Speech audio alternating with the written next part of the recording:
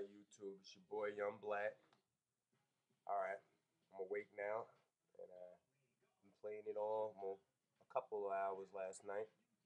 Uh, game is awesome, yo. Game is awesome. Uh, I hear a lot of people complaining about how linear the game is, uh, or linear, whatever you want. The game is not really all that linear. Uh, if you really pay attention to everything, the the world of that the game is based in is so large, information wise, that I am so glad that they didn't uh, make the stages humongous so that I can get lost in that too. Uh, I'm already getting lost in the story, which is kind of hard to keep up with since they drop a lot on you at once. The beginning of the game starts off with uh, a, a huge battle, and you don't know why. So that is kind of confusing. So, and then they're basically unraveling the story during a huge battle, which makes it really hard to follow because you're too busy paying attention to the beautiful graphics and the beautiful, the beautiful um story and everything that's happening right in front of you. So when they're trying to give you all this little hints of backstory of what's happening, you uh, kind of get lost in the in the action, which is not a bad thing because the action is more direct. Uh, so you take you take to that a little faster.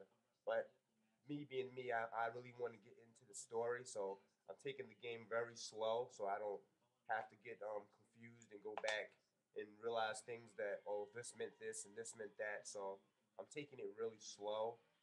Uh, yeah, the game does have mostly only straight paths in the beginning so far. It's not like uh, the other Final Fantasies where you're gonna visit towns and all of that type of stuff. Uh, you do visit towns and new areas and all of that, but you don't go there like to shop and everything to buy armor and weapons like you do in the other Final Fantasies. You do that through the save points this time, which I think is cool. People are complaining about that too, but uh, you got to look at the game and the technology of the game. Uh, the technology that these characters are using, it really doesn't seem fathomable that they have to walk into a store to go buy something. Uh, the, the save points work like uh, maybe the internet that you can touch. Can buy stuff, and the, the items that you buy at the save points actually appear in your inventory, as if you, you're digitally buying things that physically appear. You know, so it's the future. They have really high technology, so that kind of, to me, explains why there are no stores. Uh, there are places you go, I think, to upgrade items um, during the game. You don't upgrade weapons through the stores. So you will be going to areas, I think, to upgrade items. And also, I heard that later on in the game, uh, there is some free roaming and subquests, and the game opens up where it's not just a straightforward path, uh, which is which is good also. Uh, I don't want to talk too much about the characters and um, exactly what's going on in the in the game because I believe everybody should go buy this game, especially if you have a PS3. It's an awesome story. Uh, you can play it with friends or with your family members like a movie. Story is awesome, and it's very the battle system uh, is very user friendly. I'm hearing now that um, it gets a, the battles get a lot more difficult. It starts off very easy, but don't let that make you um, think, oh, this is going to be another pushover game, because no, they're just weaning you into the battle system very slow. Uh, so the, the battle systems are basically training you using everything, all the mechanics very, very slowly, which is very smart. Is very smart because they don't, you don't feel overwhelmed with with everything. There's a lot going on in Final Fantasy 13, a lot. So it's it's gonna be hard for some people maybe to understand everything, uh, but you just take it real slow. Um, I bought the strategy guide, the um, collector's edition. Uh, a lot of people saying you're not to need the book. You're not going. It's an RPG, a Final Fantasy. You will always need the book for something. I guarantee you. Uh, if you want all the best weapons, you're gonna need the book. Uh, if there's a boss that's really really hard that you can't get past at, at all, you're gonna need the book. Uh, or if you're really good at the game and you want to go for the extra hard challenges, to be able to find those challenges, you're gonna need the book.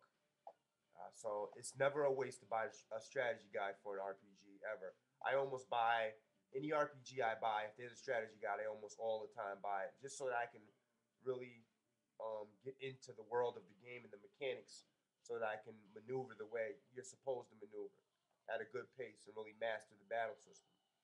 Uh, another thing about the game is the graphics are incredible. I, I've made videos about Heavy Rain, and how Heavy Rain was the best looking game. Well, Heavy Rain has been topped. It didn't even last a month.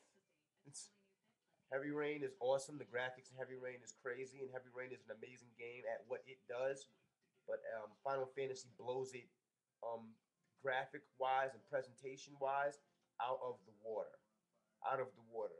The graphics to me reminds me of it. If, if you haven't, if anybody's seen, um, which you most likely have, Final Fantasy Advent Children. If you guys remember that movie, how the movie was totally CG rendered.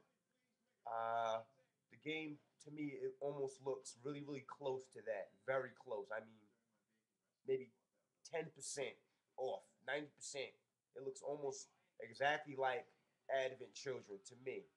But i'm not an expert in graphic analysis uh, uh, or nothing. I don't know. I'm saying just visually just looking at them both you see that the you can see that some of the engine maybe from um, advent children was used in creating this game which is amazing because that movie looks amazing and this game looks almost just as amazing. And I'm talking in uh, gameplay and in movie sequences. There was a point where I couldn't even tell the difference whether I was is am I gonna be able to move this or, or am I just supposed to sit here and watch this?